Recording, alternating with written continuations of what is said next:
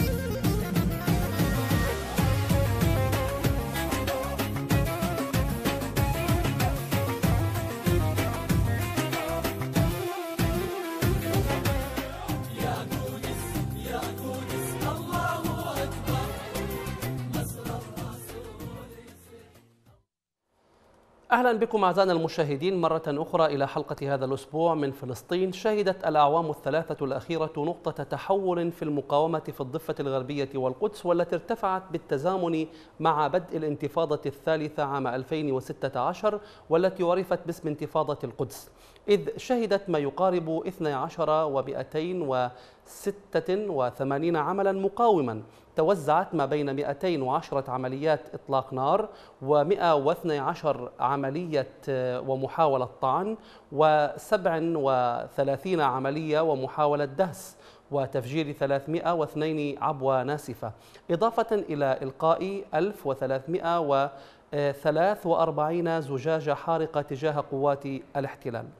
أعمال المقاومة تلك أسفرت عن مقتل خمسين صهيونيا وإصابة أكثر من ستمائة آخرين تسببت جراح بعضهم بعاهات مستديمة وهو ما يؤشر على استنزاف قوات الاحتلال بشكل كبير. في حلقة هذا الأسبوع يسعدنا أن نناقش هذا الموضوع مع ضيوفنا الكرام معي في الأستوديو الأستاذ بشار الشلبي الكاتب والمتخصص بالشأن الفلسطيني ومعي على الخط الهاتفي تباعا الأستاذ علاء الرماوي الكاتب والمحلل السياسي من الضفة الغربية والأستاذ محمد حمادة المختص بالشأن الصهيوني من قطاع غزة. ونبدأ نقاشنا بعد مشاهدة هذا التقرير. فابقوا معنا. جسدت الضفة المحتلة أروع ملاحم البطولة إبان انتفاضة الحجارة عام 87 وشهدت عمليات بطولية ضد جنود الاحتلال في انتفاضة الأقصى عام 2000 ولا تزال على مدار السنوات الثلاث الأخيرة تمثل هبة جديدة عرفت باسم انتفاضة القدس. تسير بشكل متصاعد ونوعي مقاوم جديد ونهج يعتمد على الاستنزاف بشكل كبير ومباشر. يخرج هنا وهناك بين الفترة والأخرى نماذج. هذه النماذج تحول شخص عادي طبيعي إيه، مثل أي فلسطيني يتعرض لكل الممارسات التي ذكرناها في السابق من اعتقال وابتزاز بالليل وهدم منازل والاعتداء على الأراضي والحقول وقص الأشجار إلى قنبلة إلى حالة هستيرية للعدو. تتسم المقاومة في الضفة المحتلة باللامركزية أي أنها لا تأخذ طابع الحركات والفصائل في فعالياتها وإنما تسير كفعاليات جماهيرية شعبية اتقاء الملاحقات الأمنية المزدوجة لجيش الاحتلال والسلطة الفلسطينية. وإمعانا في استمرار الاستنزاف الواضح لدى قوات الاحتلال والذي يمارس في مناطق رخوة في خاصرة الضفة ضد الاحتلال. مع يعني عملية بركان قلبت هذه الفكرة وألغتها. وهناك من ينتقد سياسة يعني التعتيم عن حقيقة ما يجري في الضفة الغربية والتغطية على بعض المظاهرات والإحتجاجات والرشق بالحجارة في الضفة الغربية خاصة في ظل تغول المستوطنين خاصة في المناطق التي تشهد آه، اشتباكات دائمة مع المستوطنين وقطع لأشجار الزيتون.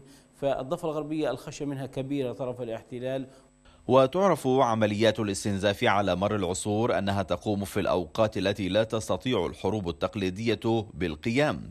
حيث لعبت عمليات الاستنزاف الفردية أدوارا غاية في الأهمية في استنزاف قوات الاحتلال وإفشال مشاريعه ومخططاته وقض مضاجع راحتهم كما فعل الشاب أشرف نعالوة الذي لا يزال حرا طليقا عقب عملية طعن نفذها في الداخل المحتل وعجزت وسائل الاحتلال المتطورة القبض عليه. إذا هكذا تبدو الصورة في الضفة الغربية وفي القدس. لم يستطع الاحتلال الصهيوني على مدار عقود أن يوقف المقاومة وتحولت فيما عرف لاحقا باسم أو بالمقاومة الفردية. وحتى هذه المقاومة الفردية التي كما لاحظنا في التقرير أشرف نعال وقام بعملية فدائية قبل آه، تقريبا شهر من الآن وما زالت قوات الاحتلال تبحث عنه في كل مكان من الضفة ولم تتمكن من الوصول إليه. الاحتلال أمام معادلات جديدة آه، يفرضها الشعب الفلسطيني في ظل التغول الصهيوني الكبير. أستاذ بشر أرحب بك معنا مرة أهلا جديدة. أهلا وسهلا فيك. شرفنا بحضورك. وكما يسعدني أن أرحب بالأستاذ علاء الرماوي الكاتب والمحلل السياسي من الضفة. السلام عليكم سيد علاء. حياكم الله. عليكم أهلا وسهلا بك. آه، كما لاحظنا آه، يعني هناك مراكز بحثية تحدثت عن أرقام وعن مؤشرات مهمة. في ضوء آه، تغول الاحتلال الواضح وفي ضوء التعاون الأمني الفلسطيني هناك نتائج جيدة. تفيد بأن الشعب الفلسطيني ما زال قادرا على المناورة رغم كل الظروف التي تحيط بالضفة الغربية وبالقدس المحتلة. ما قراءتك لكل هذه المؤشرات والأرقام التي سمعناها وقرأناها حتى الآن؟ بسم الله الرحمن الرحيم. تحياتي لك أستاذ يونس وللأستاذ علاء ولأهلنا جميعا وللمشاهدين الكرام. آه، اسمح لي أن أشير ابتداء أن إنسان يحمل صفة الإنسانية يغتصب وطنه وشعبه يقبع تحت الاحتلال ومقدساته تتعرض للانتهاكات الدائمة واليومية وضمن مخطط واضح وجزء كبير من أهله محاصر وفتاة من بلدته تتعرض للإهانة واحدة تكفي لأن يكون الإنسان مقاوم واحدة. فكيف إذا تجمعت هذه وغيرها فالوضع الطبيعي للفلسطيني الوضع الطبيعي للفلسطيني أن يكون مقاوما. أي تغير هو مخالف للطبيعة. الآن عودة الفلسطيني إلى طبيعته رغم ما ذكرت من هجمة صهيونية متماسكة بقوة الدعم وبقوة المال وبقوة الاستخبارات وبقوة مختلفة تتواطأ معها سلطة تحمل الاسم الذي يحمله شعبنا وهي فلسطينية سلطة فلسطينية تتواطأ مع هذا الاحتلال وتبذل جهود ربما مثله أو أكثر في ظل معرفة الفلسطيني للفلسطيني أقولها وللأسف.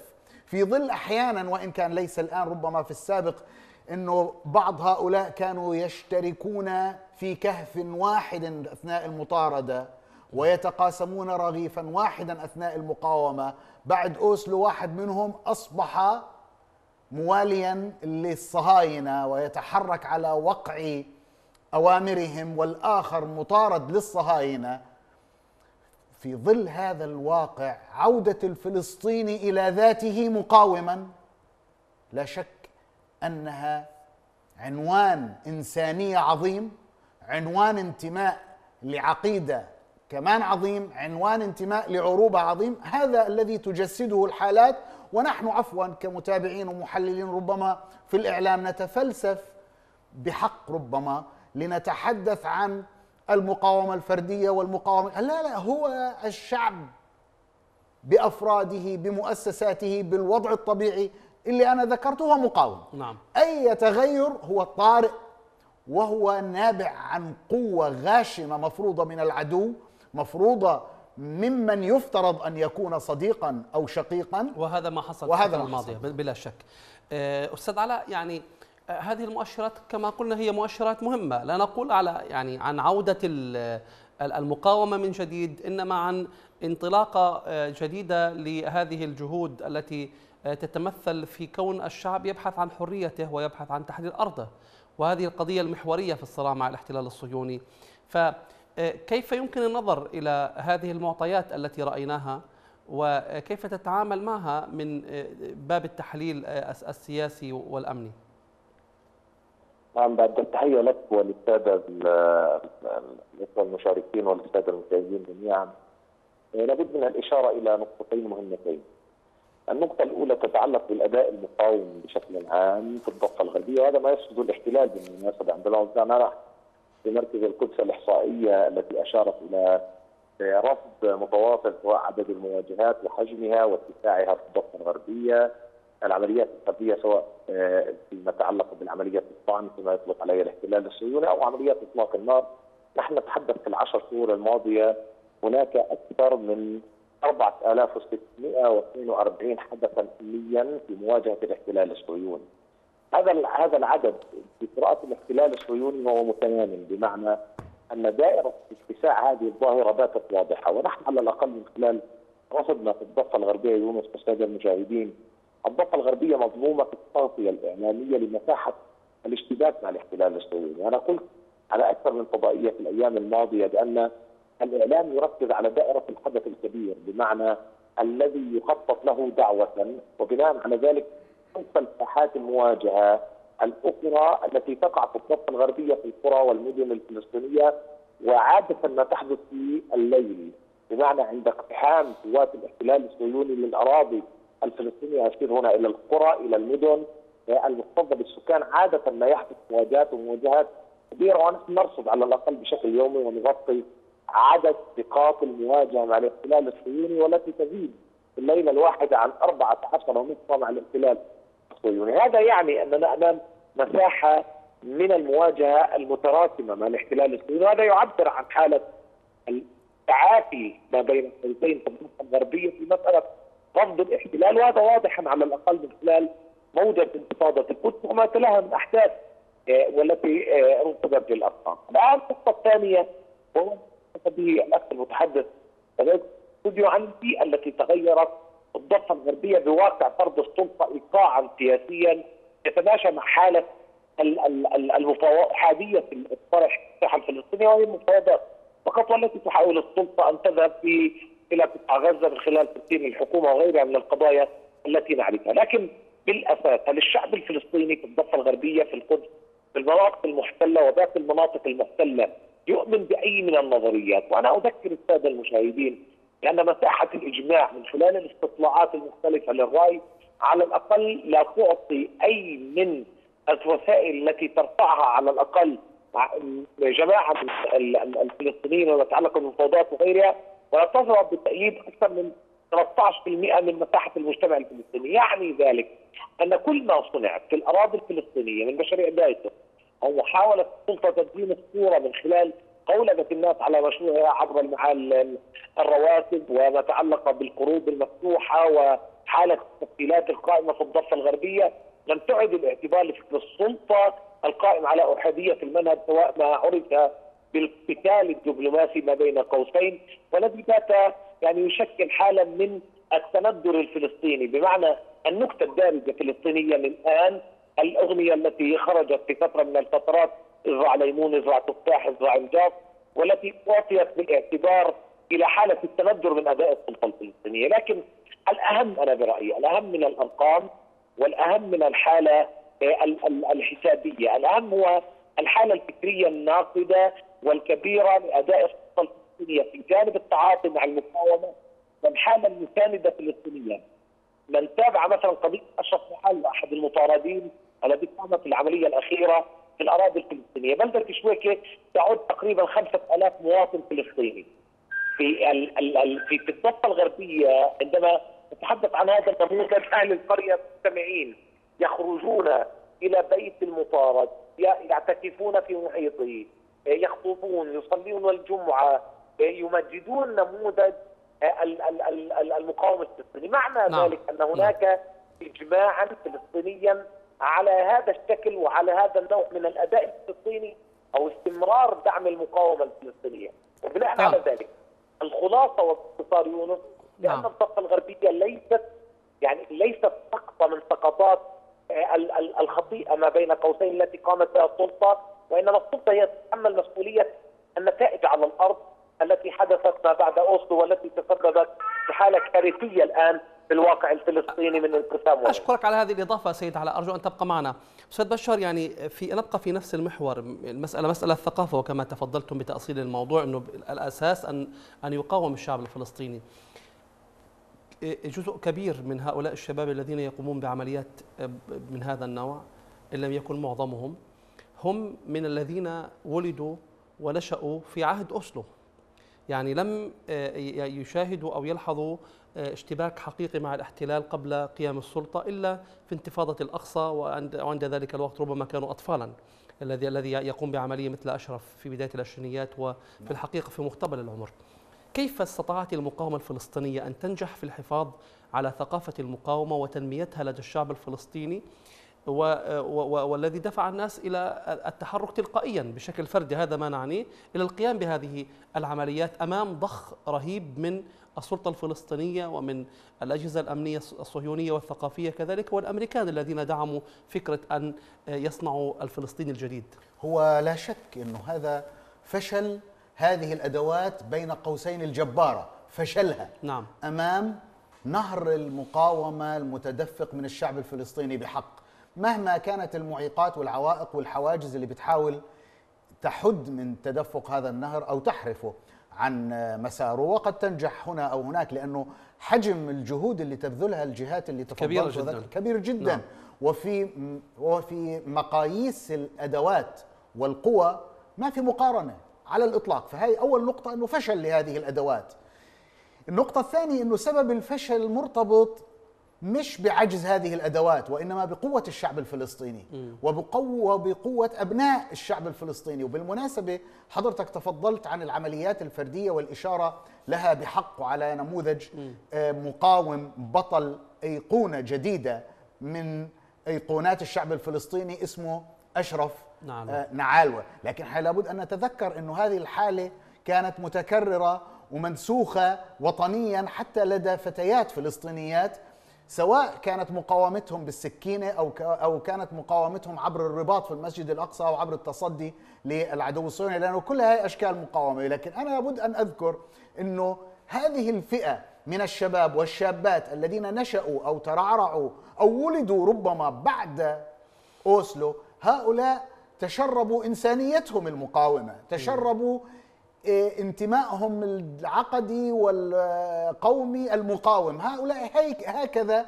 تولدت لديهم المقاومة لكن لابد أن نشير أن بقاء روح المقاومة الرافضة لأوسلو متمثلة بعمل بعمل مقاوم سواء كان فصائلي بمعناه الكامل أو جزء من فصائل بمعناه الجزئي أو غير ذلك هذه حالة إلهام نعم. يعني لا نستطيع أن نفصل وجود حركة مقاومة زي حركة المقاومة الإسلامية حماس أو حركة الجهاد الإسلامي أو مجموعات مقاتلة زي مجموعة أبو الريش سابقا أو زي مجموعات الأقصى اللي ما زال لديها إمكانية للمقاومة أو رغبة في المقاومة أو قرار بالمقاومة.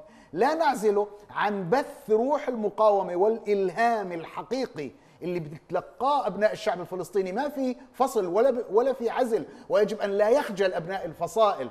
وقادة الفصائل من أن يكون هذا الكلام حقيقي. هذا شعب متماسك واحد. اليوم أنا أريد أن أشير لك إلى أنه الحديث عن المناضل المقاوم أشرف نعالوه والبعض يعني أرهق نفسه بأنه فرد وليس له انتماء، ليست قضيتنا أنه له انتماء أو ما له انتماء، أقول لك ما هو انتماءه. على الأقل أنا بعتبر أنه في تنظيم جديد. في تنظيم جديد اسمه شويكي.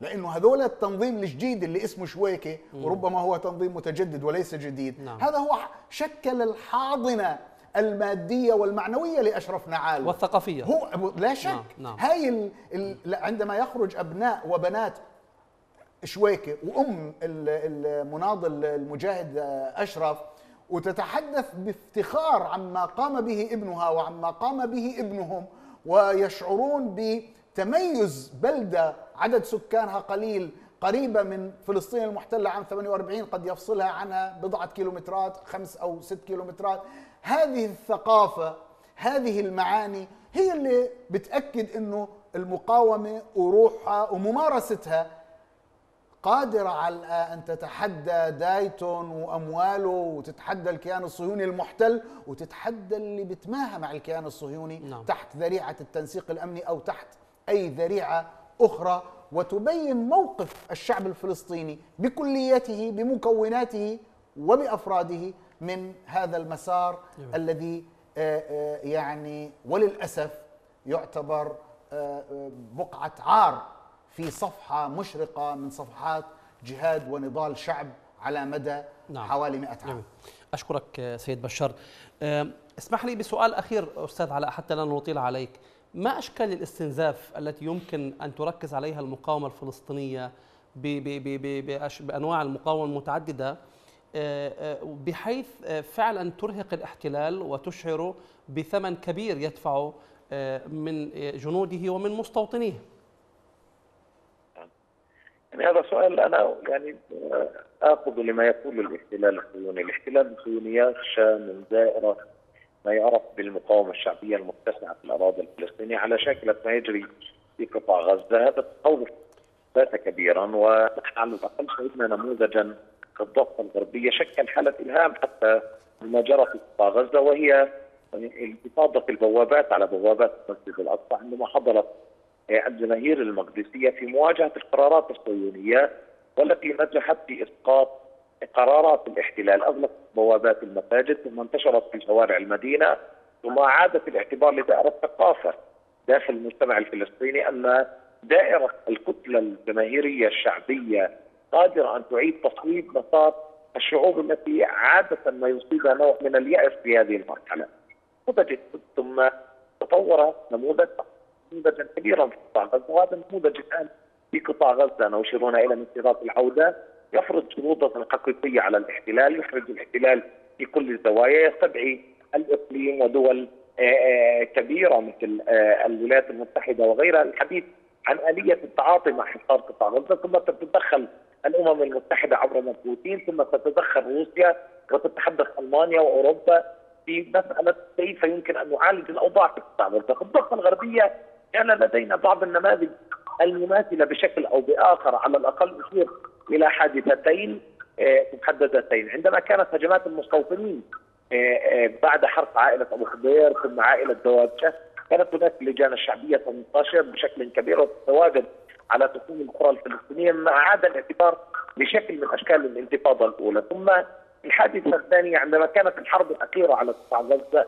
وحالة التكاتف الكبير التي حدثت وخروج المسيرات الضفه الغربية شكل هاتفا كبيرا للاحتلال لأن الأمور قد تتغير وتنقلب من لحظه إلى أخرى.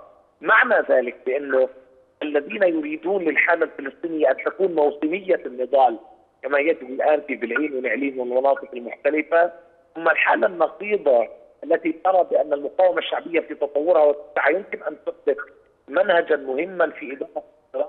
هذا النموذج أنا برأيي خلال النماذج الناجحة الآن في قطاع غزه والتي نجحت في مدينة القدس نعم. والتي اعطت حضورا أيضا في مواجهة ما يعرف بقانون القومية في الأراضي المحتلة وإن خبت هذه الأمور لكن أنا برأيي بأن مساحة الانفجار الجماهيري في ظل الانكفاء السياسيه الحاصله الحاصلة في الضفه الغربيه والفشل السياسي في قد يحدث هناك اشياء لا نتصورها على الأرض. نعم أشكرك أستاذ علاء الرماوي الكاتب والمحلل السياسي. كنت معي من مدينة رام الله.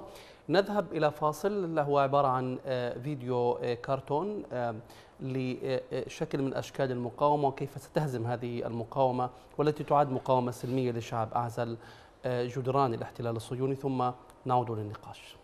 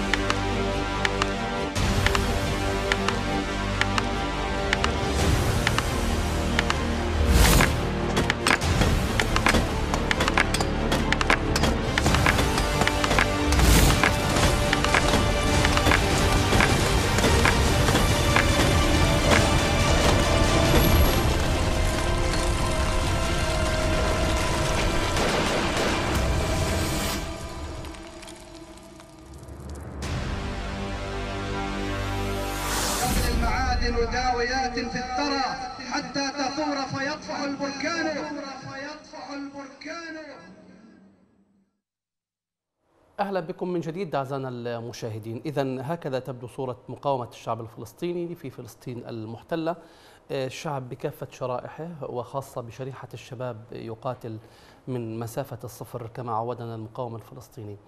أستاذ بشار اسمح لي أرحب بالأستاذ محمد حمادة الخبير والمتخصص بالشأن الصهيوني معي من غزة. السلام عليكم. وعليكم السلام ورحمة الله وبركاته. حياكم الله. أه، حياك الله. أستاذ محمد كنا نتحدث عن إشكال الاستنزاف وأن هناك مشكلة حقيقية يواجهها الاحتلال في هذه الفترة وخاصة أن هذه العمليات تتراكم وتتراكم رغم الجهد المبذول في المقابل لإيقافها أو لمحاولة آه، يعني آه، ضعضعه قدرة الشعب الفلسطيني والمقاومة على المواجهة مع الاحتلال.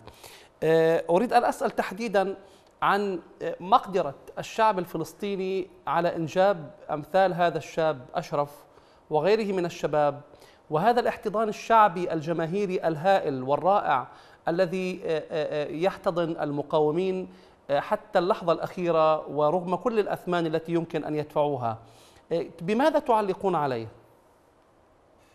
نعم هم هو ربما بشكل أدق الاحتلال لم يواجه هذه المشكلة الآن فقط وإنما نعم. هي حالة موجودة دائمة متجددة في الشعب الفلسطيني، الشعب الفلسطيني لم يخدع نفسه في لحظة من اللحظات ليقول إن ثورة واحدة وانتفاضة واحدة سوف تحقق له التحرير، وإنما على مدى سبعين عام توج الشعب الفلسطيني جهاده ونضاله بثورات وانتفاضات هي سلسلة ممتدة إلى أن يصل إلى التحرير. لذلك المحتل يعرف جيدا بأن ويعرف وأقصد هنا ناحية مهنية ما يملك من معلومات وما يملك من استخبارات على الأرض. يرى هذه النار التي ربما أشار إليها الشهيد مازن فقهاء عليه رحمة الله في الفاصل الأخير الذي نشرتموه قبل قليل حين قال تغلي المعادن وداويات في الثرى حتى تثور فيطفح البركان. هذه المعادن التي تغلي في باطن الأرض يراها جيدا هذا المحتل وهو يعلم أنها موجودة لكنه حاول في لحظة اللحظات أن يسوق وأن يخدع هو نفسه فقط أن يخدع نفسه بأن يقول إنه أمام مرحلة جديدة من محاولة إنتاج فلسطيني جديد ووعي جديد عبر ما يسمى اقتصادي أو تنسيق أمني أو مشروع دايتون بلير وغيرها من المسميات إلا أن حقيقة الأمر على أرض الواقع كان يواجه في كل لحظة محاولات تنفيذ عمليات. كان يواجه في كل لحظة محاولة تشكيل خلية وبناء بنية تحتية للمقاومة سواء كانت مقاومة فردية أو مقاومة ترعاها تنظيمات فلسطينية هناك في الضفة الغربية. هذه المعلومات كان يراها لذلك هو لم يملك أمام هذه الحقيقة الثابتة الراسخه أن المقاومة متجذرة في وعي الشعب الفلسطيني سوى أن يصف سياسته واستراتيجيته في مواجهة هذه المقاومة بوصفها نعم. بجز العشب فقط. هي ماكينه جز العشب. لن يستطيع اجتثاث هذا العشب. هو يقوم بجز العشب. لذلك نعم هذه الحالة الموجودة المتجددة في هذا الشعب الفلسطيني. في مرحلة المراحل بسبب سطوه التنسيق الأمني وقوة تأثيره لأنه يقتل يقتل من مقتل يقتل من الداخل. يعني يقتل هذه المقاومة من بين صفوفها ومن داخل بيوتها وبسبب قوة الاستنفار الأمني الصهيوني ربما مرت مرحلة من المراحل آه، على الضفة الغربية لم يكن هناك عمليات لكن تبددت هذه هذا الوهم مع انتفاضة القدس 2015 ثم بعد ذلك ما ما تلاها من تطوير للعمل الفردي إلى أن يصل أن المنفذ الفرد لم يعد آه، يرضى بأن يخرج ربما بسكين آه، كالفه وغيره وإنما بات يخرج نعم. بقطعة مسلحه م- مصنعة محليا أو بحزام مصنع محليا. تأثيره ليس بالكبير لكن لا شك أن له تأثير كبير تراكميا. اذا عندما سألتني كم يستطيع هذا الشعب أن يولد من أمثال هذا المطارد الفذ الشعب الفلسطيني قد ولد وفي الضفة الغربية العشرات من أمثال أشرف نعالوه العشرات أمثال محمد الفقيه ومصباح أبو الصبيح ونشأة ملحم وجبارين وغيره من وأحمد جرار، نعم. أستاذ محمد. احمد جرار. نعم. يعتقد يعتقد أن الأوضاع فعلا قابلة للانفجار في المستقبل القريب وبأن هذه العمليات هي تنذر بانفجار حقيقي فيما لو توفرت أدوات ال- المقاومة الفعلية وخاصة أن هناك يعني عدد المواجهات وإلقاء الحجارة والقنابل وال- وعمليات الدهس وغيره والطعن هي في الحقيقة أرقام لافتة للانتباه هل تعتقد أن الأوضاع بالفعل نظرا لهذا الانغلاق السياسي والتغول الأمني والعسكري في الضفة والحصار في غزة قابلة للانفجار في الضفة؟ لا شك بأن ما ذكرت من عوامل سوف يسرع في هذا الانفجار الذي هو لا محاله قادم بإذن الله عز وجل.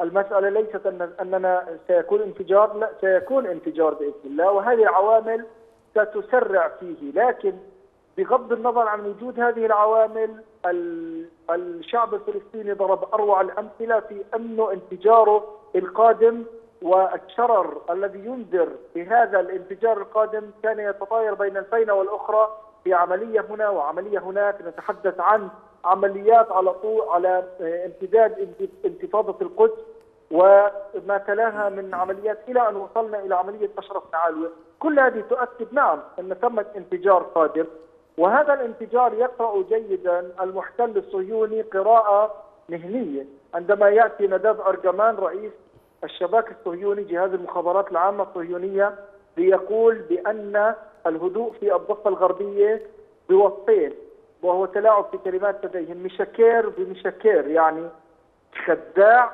كاذب ومشكير أي أنه يسكر أي من يظن بأن ثمه هدوء ويخدع نفسه.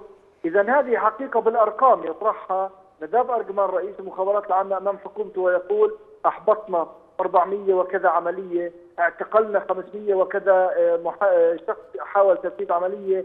قمنا بمنع آلاف عمليات ما سماها بارهاب الإرهاب الإلكتروني. اذا هذه الأرقام تأتي إلى جانب ماذا؟ إلى جانب أرقام أكبر منها من عمليات نجحت، اذا لا نحن أمام نعم انفجار ينذر بالقدوم وأمام حقيقة ثابتة. بانه مهما حاولوا ان يعني ربما المثال الذي ذكرته في سياق أنت أيضا كلامك الحصار في غزة. نحن لدينا النموذج القريب على حدود الشرقية لقطاع غزة كان هناك أصحاب حق عزل بصدور عارية خرجوا واجهوا مدجج مؤلل مدرب تقف من خلفه كل قوى الظلم على راسها الولايات المتحدة الأمريكية وللأسف الشديد على رأسها من غنوا وطبلوا اليوم للمحتل لإسرائيل كاتس هذا الوزير الحاقد الذي يكره العرب غنوا له بالسيوف يا هلا بالضيف هذا هذا الأعزل في الحدود الشرقية أمام ذلك الجندي استطاع هذا بقوة حقه أن يفرض على ذلك بما يملك من سلاح شروطه وقد رأينا ما حققته آه، هذه آه، آه، مسيرات العودة إذا بصورة أوسع في الضفة الغربية نعم.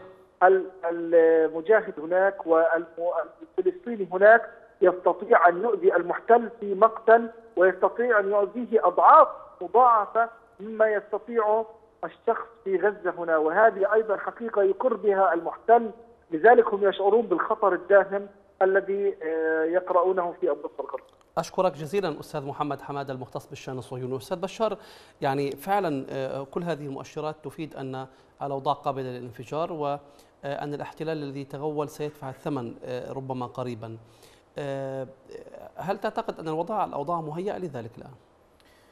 آه، كل احتلال لابد يدفع الثمن حتى سقوطه ما لم ينهزم صاحب الحق نعم. واضح أن الشعب الفلسطيني عنده قرار وهذا القرار قرار ربما في الجينات وليس فقط في التعبيرات أنه ما في هزيمة في انتصار إن شاء الله تعالى. وبالتالي لا هو آه، المعركة النيران البركان تثور آه، تخمد تأتي ننتظرها بعد شهر بعد سنة. آه، م- معادلة معادلة الثورة ومعادلة التحرر لا تقاس بهاي المعايير. صحيح المعاناة صعبة وصحيح التضحيات كبيرة لكن بالنتيجة ما لم ينهزم الشعب. نعم. ما لم ينهزم صاحب الحق. فلا بد أن يندحر الاحتلال. وهذه المؤشرات اللي نحن نراها فلسطين وضع آه، آه، آه، يعني تعرضت للاحتلال الصهيوني من عام 1948 يعني إحنا الآن 70 70 سنة سنة. ويزيد. نعم. ومع ذلك ما زال في هناك مقاومة. الآن هل يمكن أنه إحنا نستقرئ من واقع المقاومة والأعمال المختلفة إنه في تطور وفي انتقال لمراحل ربما ولكن إحنا نعرف إنه في جو الاحتلال وفي ظروفه واللي علمتنا لو فقط تناولنا الأمر من بعد الانتفاضة الأولى عام 1987 إلى الآن لو فقط عملنا قراءة في هذا الاتجاه نعم. سنرى إنه في كل محطة وفي كل وقت تخرج. وقائع نعم. وأحداث وإبداعات. نعم. وبالتالي يمكن أنا قلت سابقا في هيك لقاء إنه الشعب الفلسطيني يتنفس مقاومة. يعني اليوم بقاوم بالحجر وبكرة بالسكين وبعده بالبندقية وبعده بالنفق وبعده بالعملية العسكرية وبعده بالصاروخ والحبل على الجرار لن يتوقف. هون أنا بس اسمح لي في أقل من 20 ثانية. أقل من 20 ثانية أنا لابد أن أشير إلى أنه العدو الصهيوني قام بأكثر من 22 عملية مداهمة إلى قرية عدد سكانها ولم 5000 يحصل على نعم. نصب أكثر من 20 حاجز داخل وعلى أطراف هذه القرية. عشان هيك أنا قلت لك يمكن معنويا نقول في تنظيم اسمه شويك. نعم. هذا العمل المقاوم اللي وجد هذا الاحتضان من أهل قرية لا بل من أهل فلسطين في داخل فلسطين وفي خارج فلسطين. لابد أن أشكرك جزيلا اتصال. أستاذ بشار شلبي المتخصص بالشأن الفلسطيني. كما أشكر بقية الضيوف الذين كانوا معنا في هذه الفقرة ألتقيكم بعد فاصل قصير وموضوع آخر. فابقوا معنا.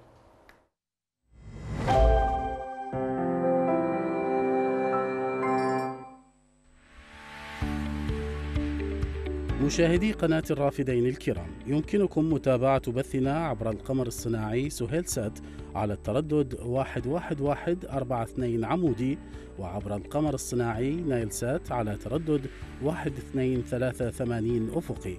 ولمزيد من المعلومات يرجى التواصل مع موقع القناة الإلكتروني عبر الإنترنت.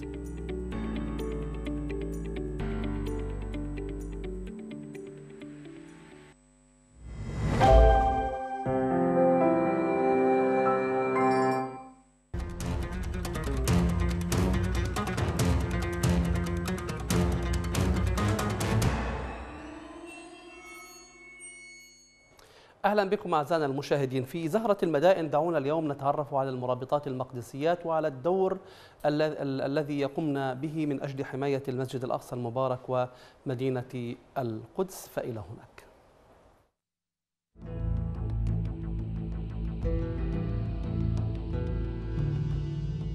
الاحتلال بداية من هبة الأسباط عندما حاول وضع مسميات احتلالية من بوابات وكاميرات وغيرها من المسميات الاحتلالية كما الاقتحام كما الشرطة كما كل هذه ال- المسميات الاحتلالية. حاول منذ تلك الفترة تغيير الهوية المقدسية وفرض إدارة صهيونية على المسجد الأقصى وهوية صهيونية يهودية على المسجد الأقصى.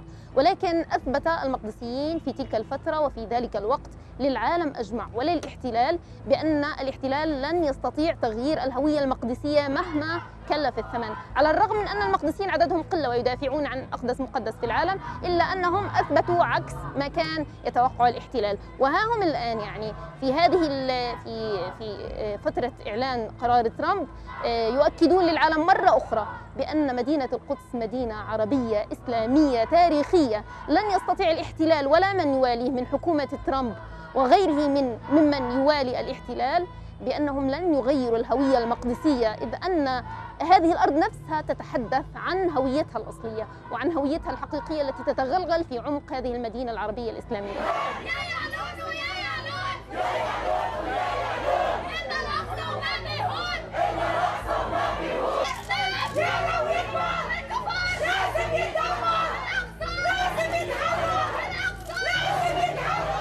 نداء المقدسيين والمقدسيات في بيت المقدس اللي اختارهم ربنا ليكونوا يعني من سكان أهل هذا المكان اللي هو ملك للجميع. بأنهم بذلوا الغالي والنفيس بذلوا الأرواح بذلوا الدماء بذلوا الأوقات وقفوا بأجسادهم العارية أمام قوة الاحتلال بكل ما يمتلكه من عتاد ومن جهاز مخابرات ومن حكومة الاحتلال كلها وقفوا أمام هذا الاحتلال بكل ما يمتلكه من قوة ليدافعوا عن أقدس مقدسات الأمة اللي هو المسجد الأقصى وبيت المقدس الذي ليس هو بمدينة عادية وليس ب- بمسجد عادي إنما هو ملك لكل المسلمين والعرب وحتى المسيحيين في كل العالم العربي والإسلامي. الاحتلال آه، سيستفرد بالمقدسيين إن بقوا لوحدهم آه، هذا هذه المسؤولية وهذا الواجب هو واجب على جميع المسلمين في كل العالم العربي والإسلامي. فليقوموا بواجبهم تجاه أقصاهم وتجاه بيت المقدس حتى يجدوا معذرة أمام الله.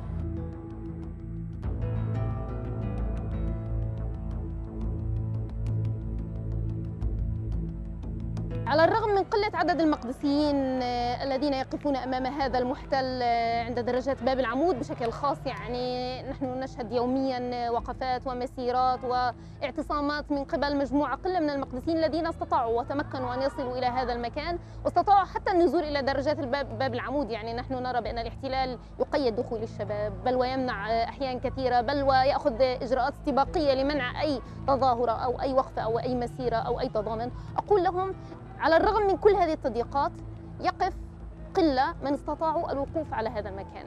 وأقول لمن يستطيع في العالم جميعه أن يدعم المقدسيين يدعم صمود المقدسيين وثبات المقدسيين الذين يقفون كخط دفاع أول ليحموا قلعة صمود المسلمين جميعهم أن يقوموا بدورهم ويدعموا المقدسيين ماديا ومعنويا وبكل ما أوتوا من قوة.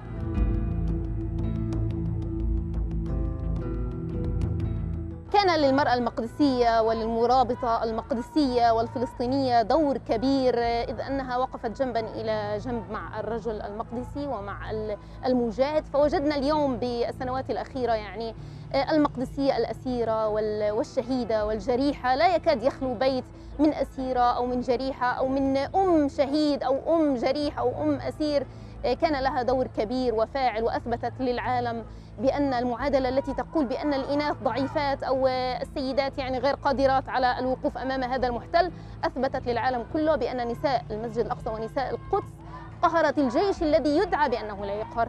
فعلت ما لم تفعله وما لم تقم به جيوش العالم العربي الإسلامي كله. أما آن للأمة العربية والإسلامية أن تقوم بمسؤوليتها تجاه المسجد الأقصى إذ أن اليوم القدس تعاني من أقصى مراحلها مع, مع بني صهيون. وبالمرحلة الأخيرة من مراحل تهويد هذه المدينة المقدسة بدأ الخطر يعني في آخر مراحله. لذلك آن الوقت لتقوموا تجاه بمسؤوليتكم تجاه أقصاكم وبيت مقدسكم. خطر داهم خطر قائم خطر حول القدس يدور. يا ملايين الصمت العربي صرخات من جبل الطور خطر داهم حول القدس يدور يا ملايين.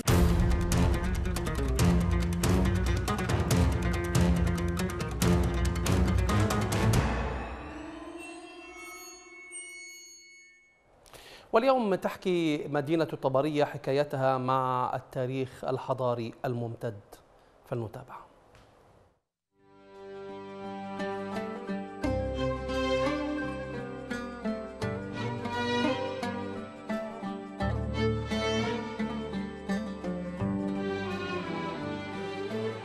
مدينة طبرية هي أول مدينة فلسطينية سلمها البريطانيون لليهود. تقع في الشمال الشرقي من فلسطين على شاطئ بحيرة طبرية الغربي على مسافة 160 كيلو مترا من مدينة القدس. بنيت المدينة قرب مدينة الرقة الكنعانية، وأطلق عليها اسم طبرية إكراما للإمبراطور الروماني طيباريوس قيصر.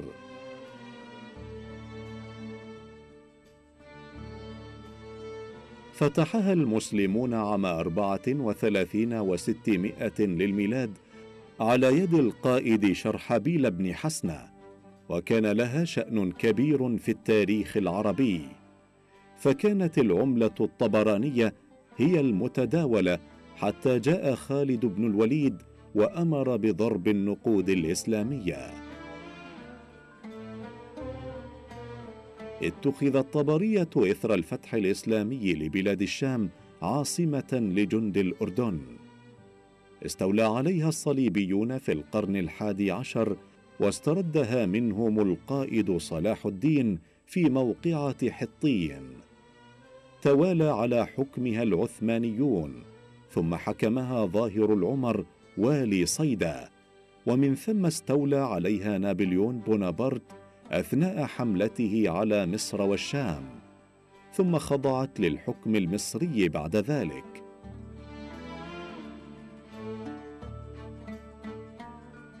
بنيت مساكن طباريه من أحجار البازلت السوداء التي كانت تؤخذ من منطقة المقاطع غرب المدينة. اعتمد سكانها في معيشتهم على الزراعة والصيد وامتلك بعضهم الزوارق لصيد الأسماك من البحيرة. اعتمد السكان على عين أبو عيشة للتزود بمياه الشرب حيث جرت إليها بالأنابيب في حين استخدموا مياه البحيرة العذبة لجميع الأغراض الأخرى.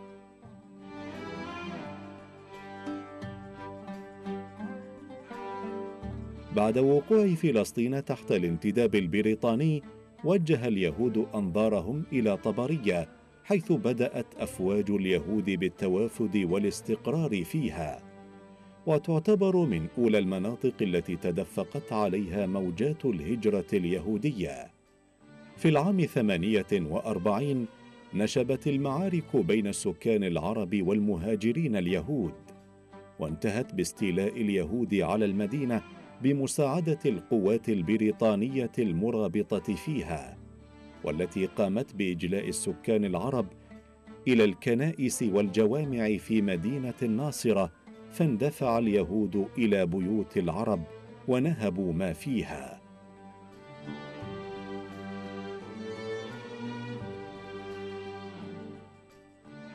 تغيرت معالم المدينة بعد عام ثمانية وأربعين. فقد قامت السلطات الصهيونية المحتلة بهدم الأحياء العربية وأقاموا في مسجدها الجنوبي جامع الجسر متحفا محليا.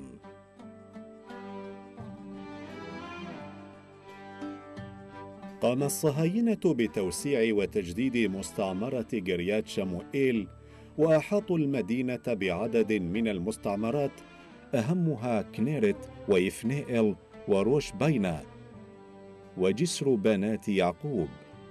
كانت طبرية قبل حرب ثمانية وأربعين مقسمة إلى شريط ساحلي ويضم كل من محطة الزوارق وجامع الزيدان والأماكن الممتدة من المسلخ إلى الحمامات المعدنية القسم الأوسط.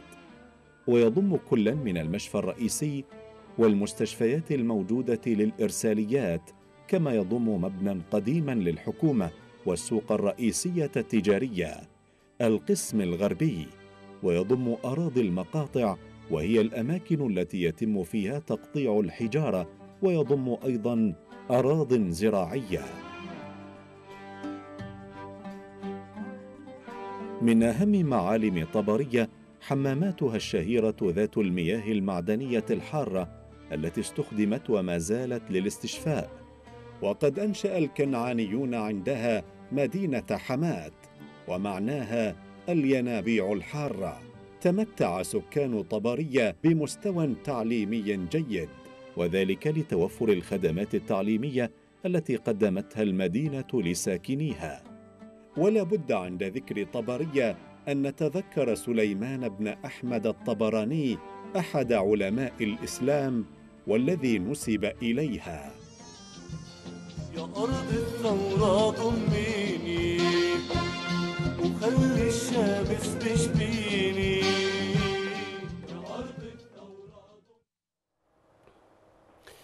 بهذا نصل إلى ختام حلقة هذا الأسبوع. إلى لقاء في حلقة قادمة. السلام عليكم ورحمة الله.